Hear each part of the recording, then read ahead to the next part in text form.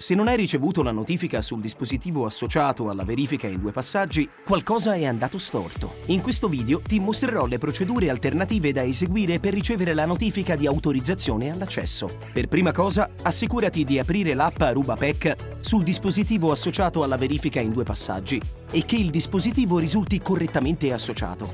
Per farlo apri l'app Aruba PEC se visualizzi l'avviso mostrato, all'inserimento del codice di verifica ricevuto tramite SMS, tocca Associa questo dispositivo per eseguire l'associazione del dispositivo.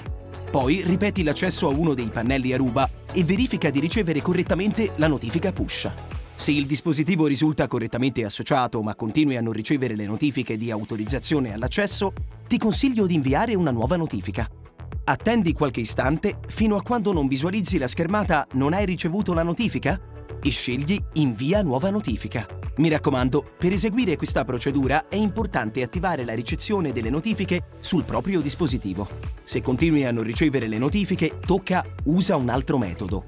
Quindi apri l'app ArubaPack, vai su Menu e poi su Impostazioni. Scegli Genera codice per verifica.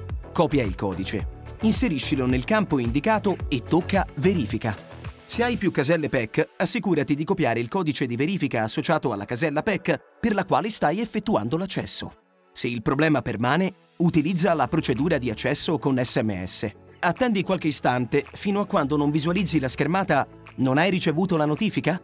e scegli Usa un altro metodo e poi Usa un metodo senza app.